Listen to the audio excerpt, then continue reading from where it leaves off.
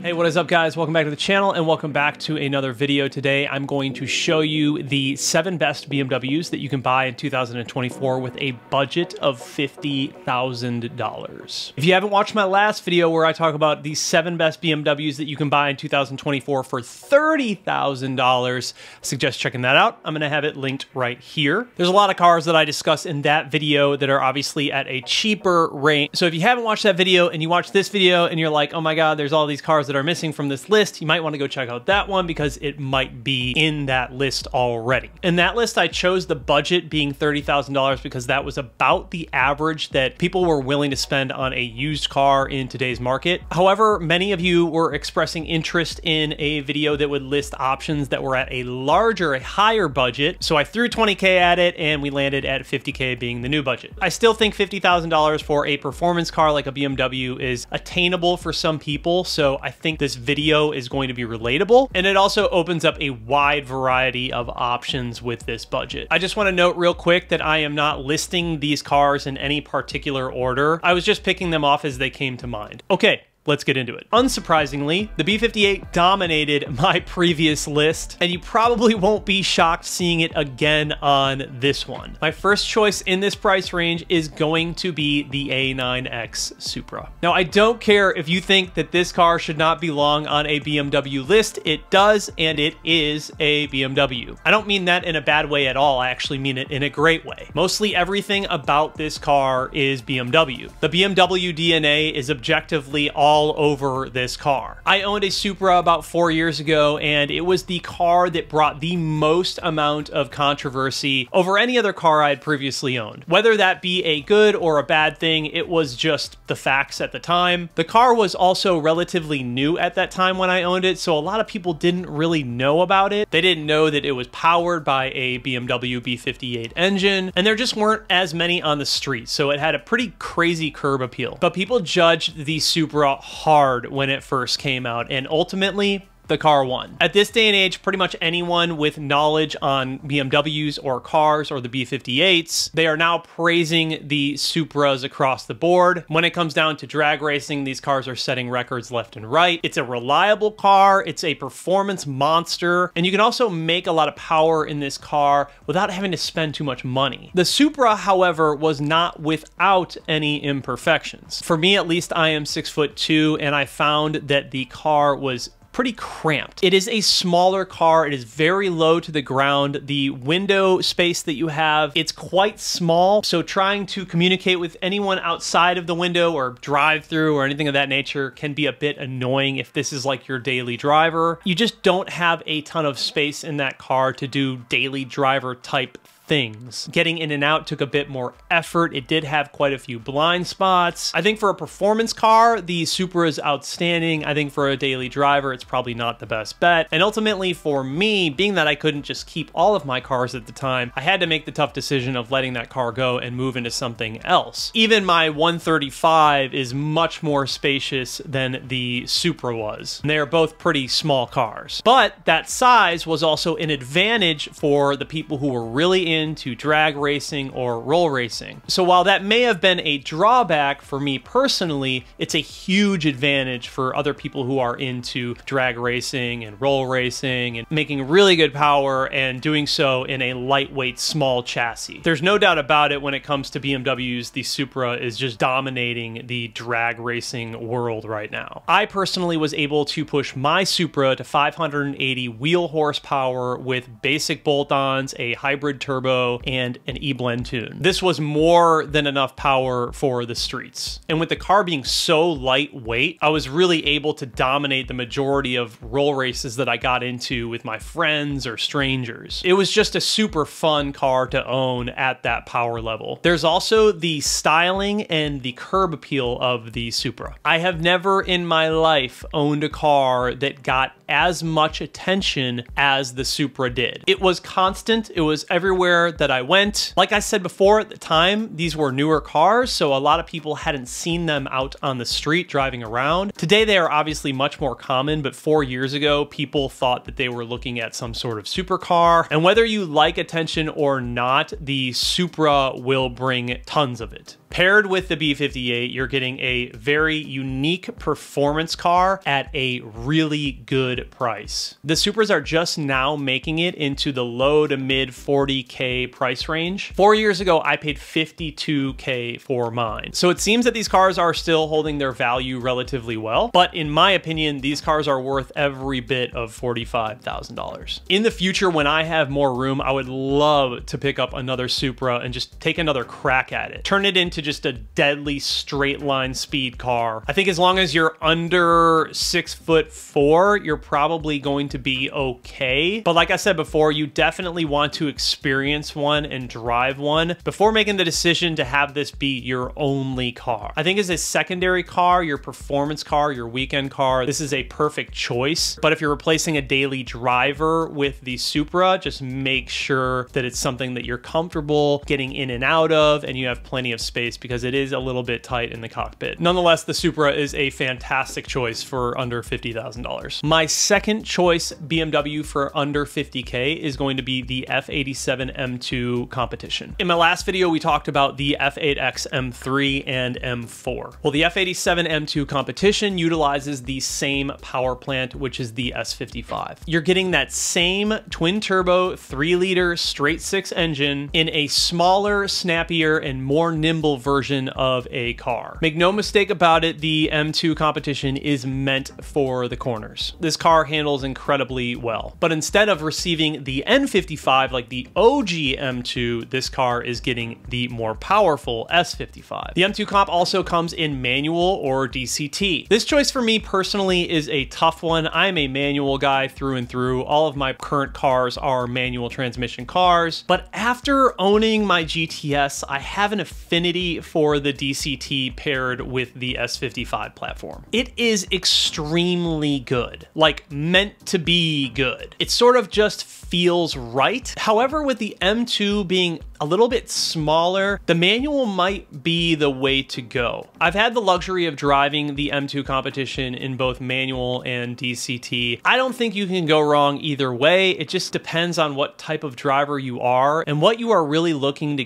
get from the car. I think if you're wanting to focus more on the experience and the connection, obviously manual is going to be the way to go. But on the other hand, if you're focusing more on road racing, or maybe this is doubling as your daily, the DCT might be the way to go. Either way, you can decide we have options, which is good. I don't think you're going to be disappointed with either of those options. But as I have said before regarding the S55, pin the crank hub and send it. The F87 M2 competitions currently are going for about $43,000 and up. I can remember last year I was actually checking prices on these cars and they were in the low to mid $50,000 range. So it might be a good time to snag one being that they are dropping a little bit. I do think obviously they're going to drop a bit more in the future, but they have seemed to hold their value a bit better than the other F8X cars like the M3s and M4s. So I don't think that the F87s are necessarily going to tank in value. I think that they're going to do a better job of holding their value compared to the other F8X cars. But you also don't see as many of the F87 competitions on the road as you do like an M3 or an M4. Either way, if you're looking for an incredibly fun car that absolutely decimates the corners, this is going to be the one for you. My third choice for BMW under $50,000 in this list is going to be the F97 X3M. All right, so if you thought the B58 or the S55 was cool, just wait until you meet the S58. The S58 engine is the high performance version of the B58 engine. It was introduced in the F97 X3M and the F98 X4M. The S58 features twin turbos, a forged crankshaft, forged steel connecting rods, and forged aluminum pistons. Like the B58, the S58 also features direct injection, variable valve timing, in other words called VANOS, and variable valve lift. This is called Valvetronic by BMW. As opposed to the B58, the S58 features a slightly smaller displacement, increased bore, decreased stroke, and larger valves. Compression is decreased to 9.3 to 1 from 11.0 to 1. The S58 favors top end power and has a higher red line of 7200 RPMs. The X3M is the cheapest way that you are going to be able to get into the S58 platform, at least for right now. We are still waiting on any of the G8Xs to dip low enough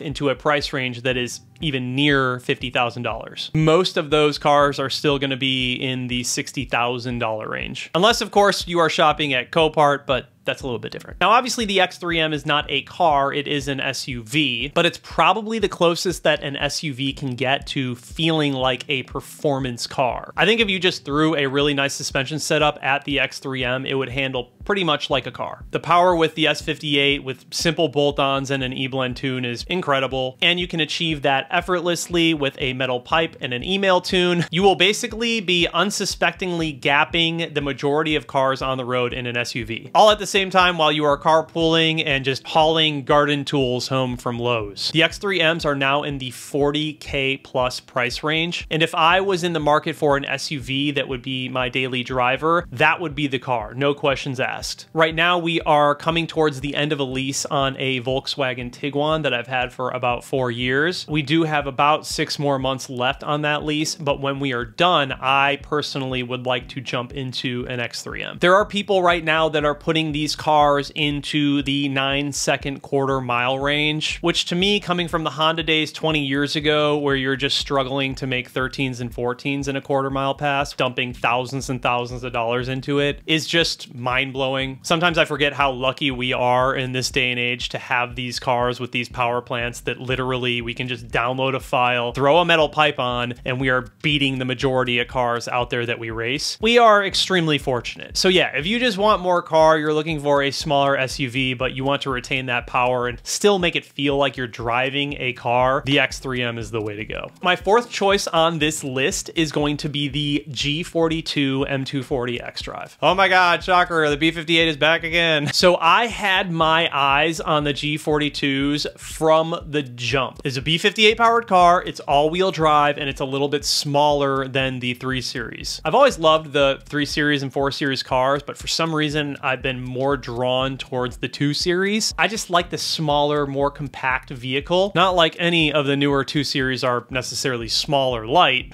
but they are a bit smaller from the 3 or 4 Series from that generation. However, it is going to be heavier than the Supra, but you do get the all-wheel drive, so you are going to hook. When I noticed the G42 come out and I saw the price point that it was at, I knew that it was only a matter of time before someone came along and popularized this car, especially in the racing community. You may or may not remember Dre as One Stock F30 on Instagram and YouTube. He had a white 340 and was basically dominating the racing scene in New York with his B58. He he basically put the B58 platform when it came to racing on the map. If you own a B58 and you're into BMWs, chances are you know who he is. If you don't know who he is, you probably have not been awake. Well, Dre just picked up a G42 and he has been building it publicly on his YouTube channel. This man had this car built for racing and was racing within four weeks of when he purchased the car. I'm talking unlocked DME, drag pack, built transmission, and a giant spool turbo kit. At that point, I already knew it was over. I'm gonna have his channel linked down below. Make sure you check it out. Go give him some love. I think that was something that a lot of people from the original 340 that he built wanted to see. They wanted to see the process of him building up these cars and racing them. And now we are really getting to see him build up this G42 from the back end. And it's it's just cool to watch the process. And it's really cool to watch him grow in the YouTube space. So make sure you guys go show him some support. The G42 is currently going for about $40,000 and up. If I'm being honest, I think this is probably on the high side of what that car is actually worth. I could see buying one of these cars if they were closer to like the mid or low $30,000 range. But nonetheless, it is still a super solid platform, especially if you want something a little bit smaller than the 3 Series, but you still want to retain that reliability, that tunability, and just overall power of the B58. It's really not going to take much to put this car into rocket mode. The downside, however, is going to be the weight. These newer G series models are just getting longer, wider, heavier. And so you just have to keep that in mind if you're looking to build up one of these cars from like a performance standpoint, you are going to be battling the weight versus the power. And I think that's why a lot of people still kind of go for the Supra when it comes to racing. However, you are getting the all-wheel drive and you're still getting that B58. So it's still a great choice for a performance car. My fifth choice BMW is going to be the G42's brother, the G20 M340 xDrive. Basically the same setup as the G42, however, you have two more extra doors and just a bit more space in the cabin. Some people just prefer sedans, so if that's you, this is gonna be the one that you're gonna wanna go for. The G20 M340 also has the B58, so you already know the deal. Easy power, dependable reliability at an affordable price. The G20s are currently going for $35,000, which is a fantastic price for the amount of car that you are getting, especially if you don't wanna spend the extra to get the G42, the G20 might be the perfect one for you. All right, enough of these B58 cars. So the next one on my list is going to be the F90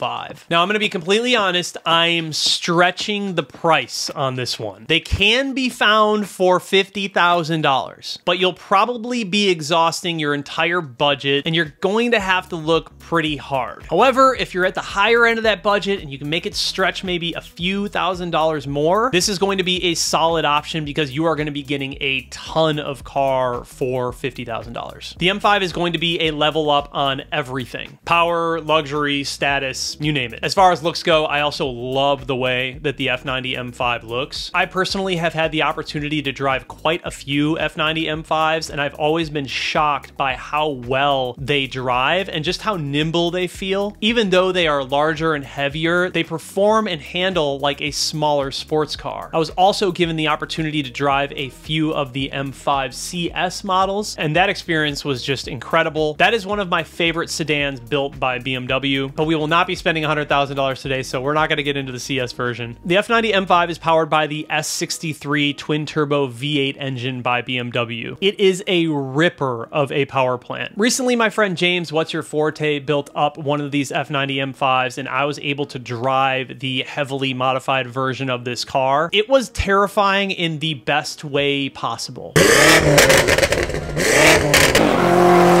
That car was gut-wrenchingly fast with just a few bolt-ons and an E-blend tune, but there's more to the M5 than just looks and power. It has supreme luxury. Everything from the massaging seats to the interior lighting, the car's interior just makes you feel like you're in some high-end nightclub or you're on vacation. It's a bit of a step up from my current E-Series BMWs that I own. Like I said before, they aren't going to be the cheapest option, but if you can stretch your budget by a couple thousand dollars, or you are just a killer negotiator, you might be able to pick up an F90 M5 for about $50,000. And that brings us to our final car on this list, which is going to be the G05 X5M. I felt like I needed to throw a properly sized SUV into this list. And if I had to choose one that was larger than the X3M, it would be the X5M. Now, there's nothing wrong with the X6M or the X4M, but the X6M is just a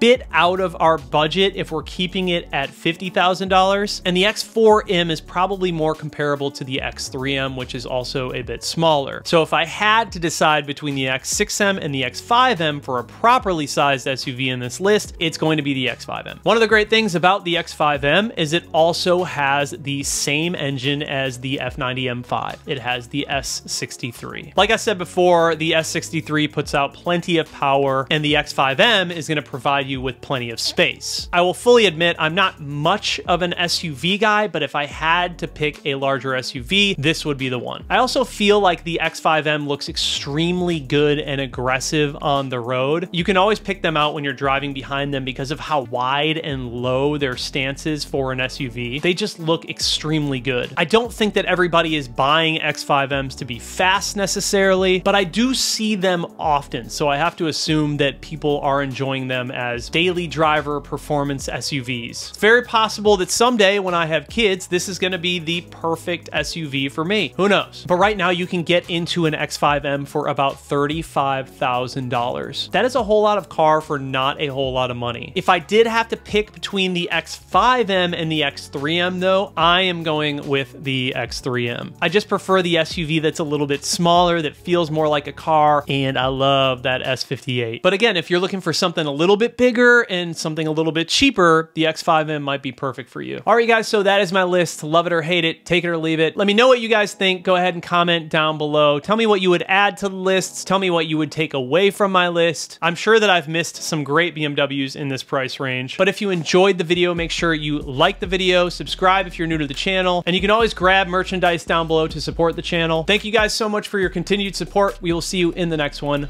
Peace.